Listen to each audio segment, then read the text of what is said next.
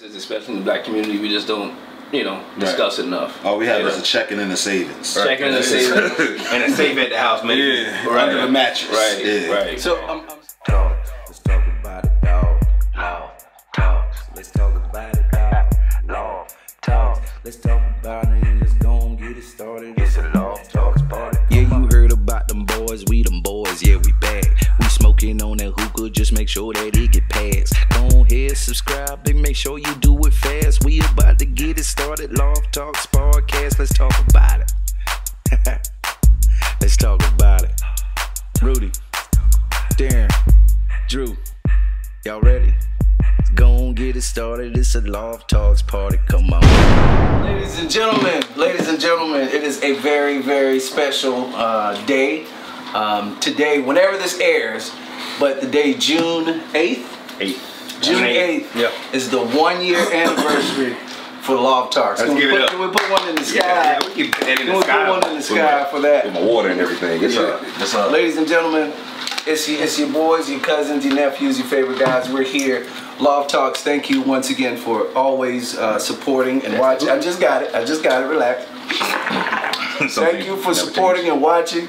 Um, we have a, a very special guest in the house today, Mr. Todd Davis. Let's give it up for Todd Davis. Uh, Todd is a friend, a brother, uh, and someone who's been important in the lives of, I believe, many people on this couch. Uh, and he's going to tell you why he's important to us and what he does. And and thank you for coming and joining us, man. Welcome, welcome to the show. Yeah, yeah. Thanks, thanks, guys. I appreciate it. Um, appreciate you guys bringing me on the show today to, to kind of talk about what I do and you know the the importance of that um, to our community uh, is something that I kind of talked out talked about enough. Okay. You know, as far as finances. Um, but um, yeah, I knew all I knew all you guys, and uh, you know when when it comes to finances, especially in the black community, we just don't you know discuss it enough. All we have you is know? a checking and a savings. checking and a savings. and a safe at the house, maybe. Yeah, Right. under the mattress. Right, Yeah. right. So I'm, I'm seeing I'm seeing uh, logos that match your hat and shirt. Talk to me. What's going on? Yeah, I'm just um, you know, loud and proud with uh, with FMU, Samaritan University. That's, that's that's where I got my undergraduate degree in business management. Uh, so, so I'm proud of that. They sent me a, a care package this week, so I'm. Oh, word. Yeah, Product placement. it seemed fitting, you know, Hey. when you guys called me, and you know, so I said, Nah, I that's said, what's so go ahead and, and represent, um, you know, my, my university. Absolutely. So, yeah. yeah. Well, once again, thank you, thank you for joining. Thank you for um, supporting, and uh, let's go ahead and get into it. So we're talking about. Yeah, we're talking about finances. I'm, I'm gonna take over first. Please second. do, please. I'm gonna take over for a second. So we're gonna talk about financing with Todd. Um, Todd is my financial advisor. Um, but Todd, we want to ask you a couple questions. Like, how long have you been uh, in this industry? Um, first and foremost, and just tell us a little bit about what you actually do uh, with financial uh, advising. Yeah, yeah. So, um, yeah, I'm a financial advisor. I uh, I've been in uh, the role actively ever since 2015. Um, you know, so that's when I got licensed. So, in order to be a you know a financial advisor to give advice, you have to, you know, uh, Is that the Series Seven and all that? Series Okay. Seven, Series 66, Oh, okay. um, and all that good stuff, insurance license and all that. Um, I started my career with uh, with Edward Jones.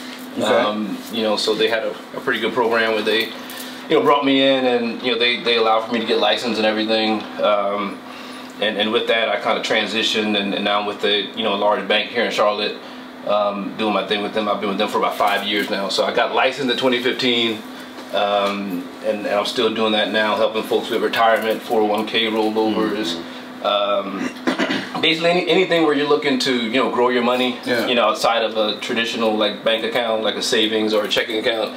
You know, we can put your money to work in, you know, um, an IRA, look at stocks and bonds, annuities, what, what have you, to, to, to allow your money to grow. Okay. Yeah, yeah. So that, that's what I do right now. So what's the one thing you'll say that when new clients come to you that they're, you know, not knowledgeable about? Like I'm gonna use myself for example. I remember when I first started with you, I didn't understand how to trade and what to put my money in, what stocks to purchase. And of course you educated me on that, but um, for somebody that's new that comes to you, like how do you educate them on you know how to invest in stocks, bonds, whatever, IRA or Yeah, yeah. So I, I, I take an approach. You know, um, I, I try to meet you know my clients and potential clients where they are. You know, everyone has a different you know knowledge base. You know, so um, but but when I when I see when I talk to my clients, you know, or potential clients. Um, I just start off with the basics. You know, what do you what do you know about finance? You know, have you ever traded before? Have you do you have a Robinhood account? Um, you know, do you have a Charles Schwab account that you do your own trading? Have you ever bought a stock before? What was up with that? Uh, not to cut you off. Yeah. The Amazon split, the 21. Yeah. Well, talk to me about that real quick. Yeah, so my boy sent me a text and said buy Amazon, and I bought some. Yeah, yeah. Split is, is just you know corporations do that um, in order to kind of raise money. It's a good sign when corporations do that. That means they have you know growth potential in the future. Uh, it just makes the stock price cheaper when they do a split. Right. Right. So it's, it's basically like if you had you know a twenty dollar bill, um, and if you know you split that twenty dollar bill into you know two tens. That's basically what they do with the with the shares. Right. Ah, so. okay. So, for example, if you owned, you know, um, you know, uh, two shares of uh, Amazon before the split, the, the, the shares were at about twenty four hundred dollars Right, right. per uh, per share.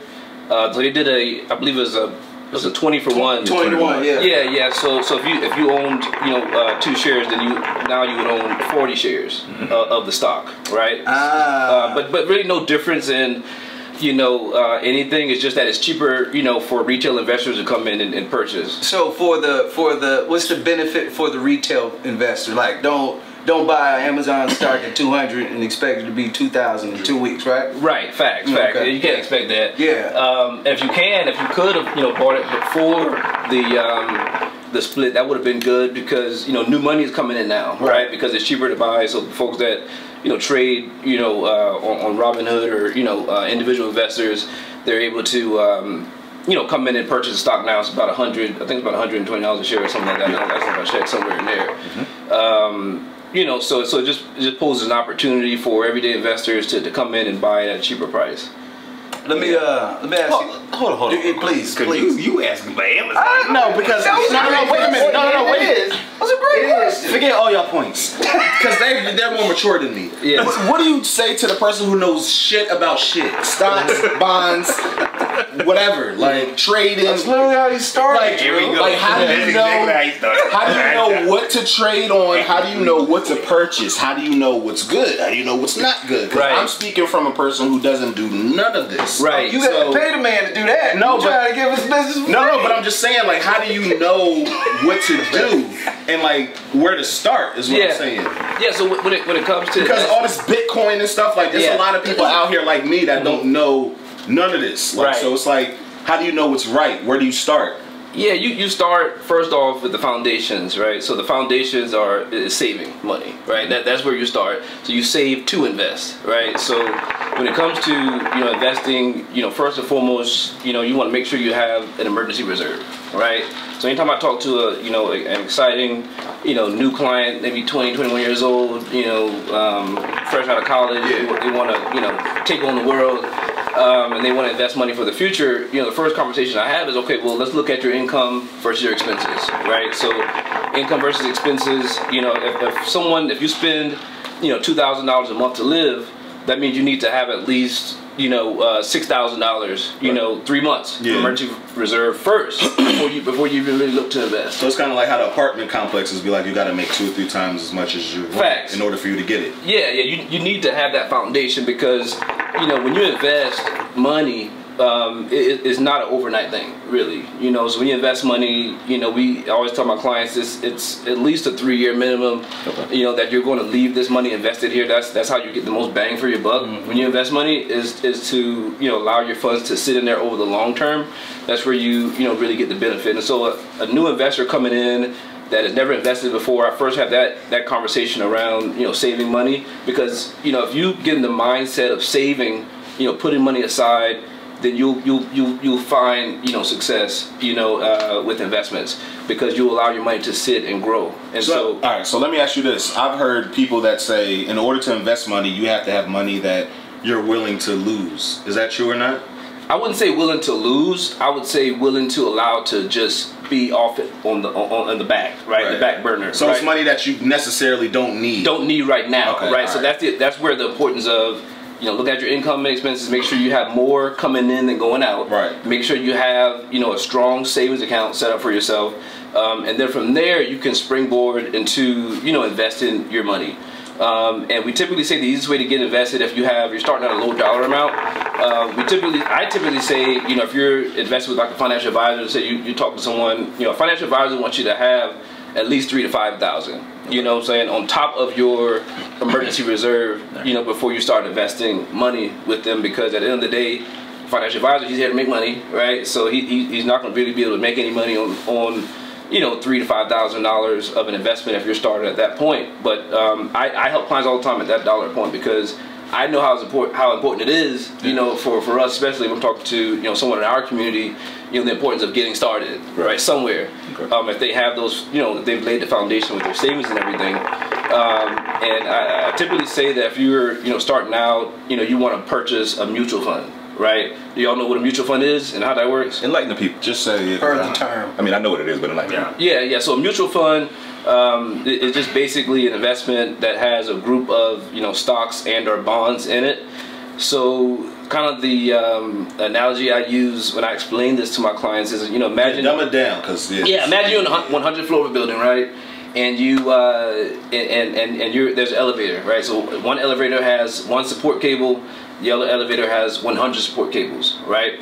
So support cables, we want to go ahead and uh, uh, uh, make the analogy that that's a stock, right? So that elevator that has one support cable, if you were to go out and buy, you know, one share of Amazon or you know one share of uh, Google or whatever, and that company fails, then you lose all the money that you invested in there, right? So if you Right. put, you know, if you before the split, if you bought one share of Amazon at twenty four hundred, and Amazon for whatever reason, you know, went belly up, then it would go down to zero. You would lose all your money that you had invested with Amazon, right?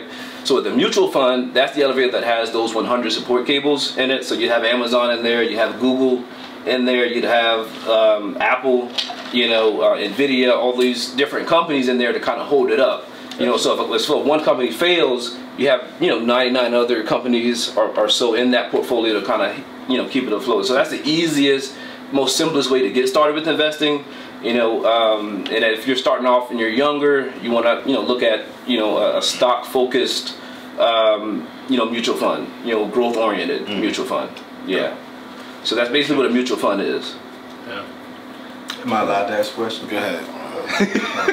I need a book on this. Derek, you have a question Yeah. first? Um. So, from from that from that analogy, you're one of the I guess one of the biggest things that you could actually say that if you are going to invest, diversifying your portfolio would probably be the best Perfect. Yeah, yeah. So if you're, you know, and that's what a mutual fund is. It's a diversifier, right? So you don't have all your eggs in one basket. Um, so you go out and you buy one individual stock. You know, you know that company could go belly up. But if you if you you know invest in a reputable company, Amazon, Apple, Google.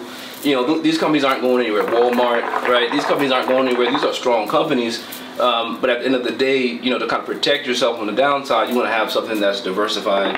You know, um, especially if you're just starting out. You know. So we talked about this in like previous episodes about how important um, having like classes on uh, credit and Mhm. investing. Um, like in your company, is that something that you guys like would go out and teach Mhm. to different communities um, to help them be more aware Mhm. uh, of you know how how to handle credit? To be honest, no. Um, you know, and I, I've, I've had, you know, I've done a, a talk. I've only done one talk, and you know, it was encouraged by my company to, to have that talk with some teenagers at, in my hometown, um, Moncks Corner, South Carolina. Hey. Yeah. So, um, Shout so, yeah, so, so, so, so I had a, You ain't from no mom's going. Shout out Little Country. nobody ever heard of St. Stephen. That's all. We got it. That's Tell on your the map. story. Okay, okay. Tell your degrees. story. But Tell your um, story. yeah, yeah, but um, it's encouraged, you know, because it just uh, you don't know what you don't know, you know what I mean, and so um, that's what I strive to do. I try to to, to, to to teach as many people as I can about the importance of you know investing, you know, the importance of saving, because over time, you know, if if you are you know preparing, especially when you're younger. Um, you're, you're setting yourself up for, for success later on, right? And um, I always tell folks as well if you if you're working at a job and they're offering a 401k, this is huge. you know, eh, you need to be participating in it, and you Say need- that again, Ty. You need to be participating in it, right? And if they're if they're offering you a match, right? If if, if a um, you're working at a company and they and they say we're going to give you a four percent match, you need to make sure you're at least contributing four percent to that 401k because it's, it's like you're just leaving, you know, It's free- it's free money, free right? money, free money. Yeah. Right, right. Um, here, here on Loft Talks, we not only want to find out about what you do, but we are interested in who you are. So, I'm reading this book. Uh, it's, well, I'm listening to this book. Audible's also reading the book, y'all. It's, just, yeah, it's, easy. it's. Just saying. It's easier. Just, so I'm, I'm listening to this book. It's called Millionaire Mindset, and it talks about the importance of not only understanding your money blueprint, but also your parents' money blueprint. And your industry, and based on your demographics, is not something that's normally taught. You know what I'm saying? So I'm interested in how did you even get interested in this world? Right, right. You know yeah, that's a good question, man. Um, you know, to be honest, you know, I kind of got started with this. Um, you know, my my dad really. Um, so my dad, he, he's a he's a practicing attorney um, in, in Moncks Corner, South Carolina, um, and you know, he. I, I remember uh, growing up, and uh, he. I think I was maybe in high school or whatever, and uh, he said. Um, you know, I- you need to get in the stock market, son. You need to get in the stock market because you know um, that's where you make money at. And uh, he had been invested with Edward Jones, and I asked him, you know, later on in life, I was like, he, he said, I'll, "I'll give y'all, I'll give y'all money if y'all, if y'all, you know, get on, go the Charles Schwab account and y'all and you invest money there, I'll, I'll, I'll help you out. I'll give you a couple dollars, right?" Wow. Um, and so that that kind of opened me up like, wow, if he's so crazy about this, something you know, you know, something must be, you know. Wow. so I, I did a little research or whatever, but I still wasn't, you know, fully interested in it. But later on, you know, I asked him about that after I became a financial advisor. I said, Dad, well, why did you, how did you know about it? Because he came up from humble beginnings. Yeah. You know, I said, well, how did you know about it? He said, I, I- I think he said that he was just, you know, talking to some colleagues. He had some extra cash, and he walked into a financial advisor's office. Right? He walked into a financial financial advisor's office, and um, they set him up with investments, and, and that's what he did. You know, so Wow. so so that's what got you know him invested. He just was curious to know there's something else other than just putting your money in a savings account, Hmm. you know, or an interest checking account that or a CD that doesn't pay anything. Right. Um, you know, th- there's other things out there to help you with growing your money. Let me, Um, let me also ask you this follow up question. At what point did it make sense to you? Because I, ma- I I hear that your dad is he. Yeah, it didn't make sense. It, it- point, it- you know it- it didn't make sense at that point.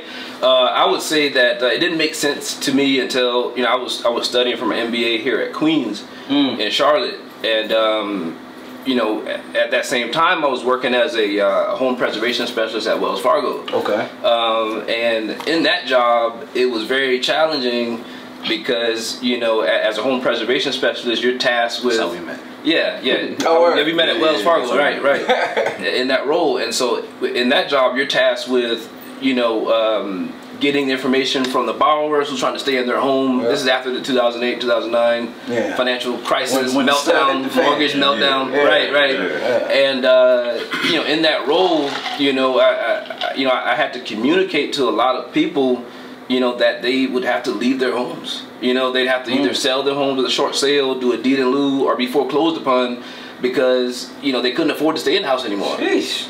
Right, and so in that role, conversation, brother. very tough conversation and in that role my job was to you know gather the information give it to the underwriter Yep. the underwriter would then you know let me know if they were denied or approved um, and i had to communicate that you know to them you know and and, and you know folks crying on the phone you know, folks you know uh, you know just upset. And and and, in doing that it really um, I felt like I didn't have any control, right? I'm just I'm just gathering information, giving it to an underwriter, and telling you you're denied, or telling you you, you know you, you're not going to be able to stay in your home.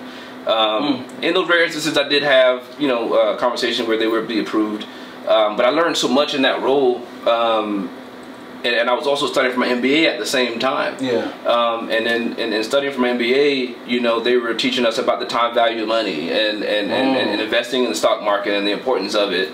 And my colleagues and my classmates were investing. That's like a no-brainer for them. Like you know, it's just like, they, they knew what they knew that about needs it. to be general education. Right, not- right, right. Not It master should of business, bro. we talk about that all That's the time. It should crazy, man. We had master's program, and I, I went to the master's program to look at finance, to, to kind of learn more about it and get an inside scoop.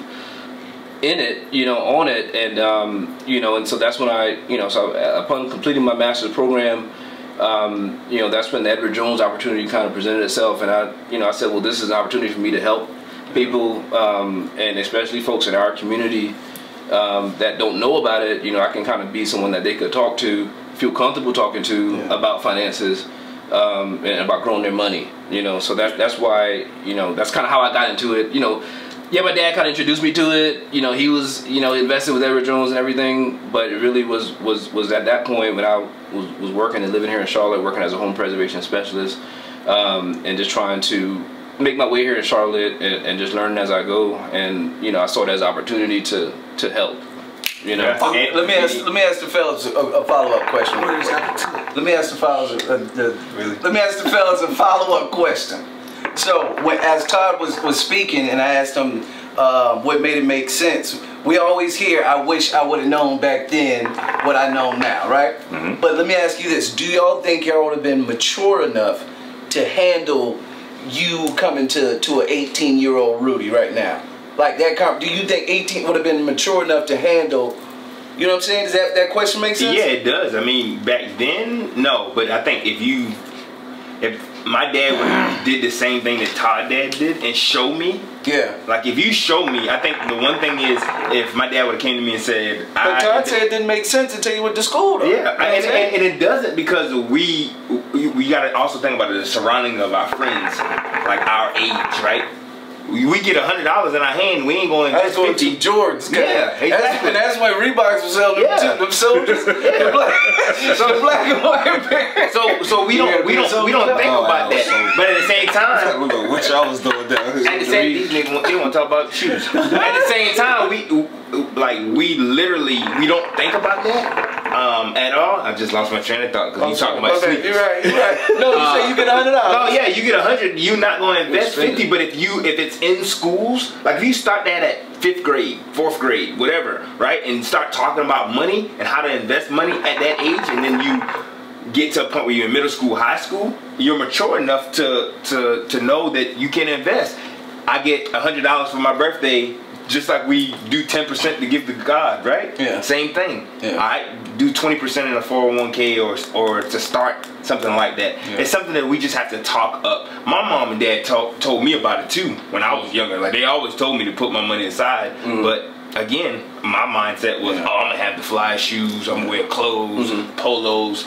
But now I'm like, I threw away thousands and thousands of dollars on clothes for what that I can't even wear no more. I think one thing that's also important is is how it's taught to us. Mm-hmm. I think being knowing what you know now, knowing at 16 year old you when your dad first introduced it to you, mm-hmm. maybe if he would have taught it a little different, maybe he would have caught. Like I think about my my godson. He's watching Gracie Corner's uh, video, mm-hmm. and they teach the alphabet and counting, but they put trap music and all that. So like Yeah. we, and it's a funny meme on social media. My wife showed me, mm-hmm. like the girl turning up to it. Like it's Right. just a different way of learning the Right. alphabet. So Right. if we just implement a different way of learning mm-hmm. that type of stuff, like how would 18 year old Todd receive how to start with you now? You know what I'm saying? You-. That's you- what we got. You that's got what we gotta- adults today that don't know the difference between an asset and a liability. Yep. Right. Right. So, and and honestly, I'm not. I can't be mad at them. I can't fault them for not knowing that because if you were, you never took a class or were in college to, to learn asset and liability, and you would never learn it. Right. But it's it's our it's up to us, and that's why I asked about um, his company allowing them to go and speak because Yeah. I think it's important to speak at high schools, middle schools, colleges to have those conversations early rather than wait till they get in the real world and they don't know to put in that 4% match with their company. Right. Because, you know, same thing. When I was with Sherwin Williams, it was the same thing. We had a 6% match, but at the same time, I did, right before I left, I did, uh, we had Fidelity come in and speak. Man, in that room, at least 20 people did not know that they had a 6% match. So you done been with the company five, ten years and you ain't been matching? Yeah. Like you done lost all this money, Right. right? But they weren't educated on it. When you get a job, didn't know. you don't read oh six percent match. You read what your salary gonna Exactly, be, exactly. Right? So we don't focus on that. But it's important to, to learn those things. And Todd used to get on me, and I, I'm gonna be very transparent. Todd used to get on me a while ago, like, Yo, bro, you got this photography business. Go ahead and let's set up this account. And I drug my feet for a long time, and finally I did it. But at the end of the day, I tell Todd all the time, I don't never want to see what's in that account Yeah. ever. Right? Yeah. I know money going in there every month, but I don't want to see nothing. Yeah. I don't want to see no statement. I don't see want to see what I'm winning and what I'm losing. Yeah. Nothing. Right? And, and when you invest, that's kind of what you need to do, you know. And so I, I think sometimes with investments and uh, with, with, with, with, with people in general, you know, we're, we're human, right? So we want to control. And uh, when it comes to investments, you know, um, your money will grow, right? If, if you just put it aside, you know, put it in a, in a in a reputable mutual fund or you know stock or whatever. You know, over time, your, your money will, will realize, you know, it goes up and down, but the market always goes up over Right. time, right? Um, you know, and so uh, yeah. So to, to Rudy's point, you know, he, he's he's exactly right. The, the sooner you get started, the better. You know, so I know harassing you, especially Oh, yeah, no. when I first started with Edward Jones. I was just gonna no, and, and I, and I understand. And for me, I wanted somebody to look like me because Todd dumbed it down for me too. I understood some of it, Yeah. but he dumbed it down to, to my understanding. And not only that, he's somebody I trust Right, with my right. life. That- that's so, important as and well. that and that's the most important as a financial advisor is making sure you got somebody you trust. Yeah. Because if you don't, you don't know what they're doing with your money. Yeah. Yeah. Right. And I, So- I also feel like even when your dad told you about it, like the excitement that he had when he said it to you mm-hmm. made you think, why are you so excited about it? Right, It made you yeah. curious. And I think as as black folks and when it comes to finances and things like that, they always tell you save your money. It's like you Yeah. you, you know you never you want to save your money for a rainy day or, Right. or hardships or whatever the case may be. But if our parents were to tell us, hey, save your money, but also put aside money so you can invest. Right. Whether they know why or not, but if they, if they know that you you'll get money or you know it can help for education, like the 529 plans, which I'm pretty sure you know about that and mm-hmm. all of that. But it's just like if they give us the excitement or let us know that hey, if you do this, you will see a return on your money. Yeah. I think it'll it'll give us more of a it'll give give us more excitement to be like you know maybe I should invest my money. Maybe we should, I should learn a little bit more about the stock market Right. or finances, things like that. So And it's all it's all about timing. And I'll, I'll share this quick story. Is like my granddad is in his 90s, and my granddaddy, like the way our our little area is, we got a whole street, right, where all my family members stay on. Like the, Oh, wow. the literally the street is named after my family, right? My granddaddy secured all that land and had that for all his kids. But I say all that to say this. He told me a while ago. This is when I was in high school. When I was in high school, he was just like, if you get paid, even if it's 20 $25 that you put aside every time you get paid, and just let it build up, right? He showed me, and this is just not him not investing because, of course, he's much older, mm-hmm. but just to see what he had in his safe, I'm thinking it was anywhere between twenty and thirty thousand dollars that he mm-hmm. just had in cash. I was like, man, if he would have invested this money, mm-hmm. right. you know what I'm saying? But at the same time, that goes to show me, like, even back in the day, he had already had that mindset that every paycheck, I'm gonna take a little something out of it and save it. I'm not gonna spend this on nothing else, right? We call it an emergency fund, but at the same time, that's the same thing you would do to to invest. So But how do you say that to the average person who's probably living paycheck to paycheck? You know what I'm saying? Mm-hmm. Like it's it's easy Yeah. to say to invest when you got money to the side, you know that you're probably You not looking at. But how do you conversation, bro. how do you say that to? There's a lot of people out there that's probably in that position where they're mm-hmm. like, "Yo, how do I start? Like, Right. I have a check and I have a savings. Mm-hmm. Now you saying I need something else? Like, Yeah. so how do you like? How do you start that? You know what I'm saying? Yeah, you know, I just say, you know, you, you just have to start somewhere. Yeah. If it's ten dollars Yep. a month, you know, as, as long as you're, because we all, you know, spend money on things that we don't necessarily need on a month-to-month basis. Right, Let's right, be right. honest, right? Everybody, facts, facts. right? So, so everybody can say. Yeah, you heard about them boys, we them boys, yeah, we bad. We smoking on that hookah, just make sure that it get passed. Don't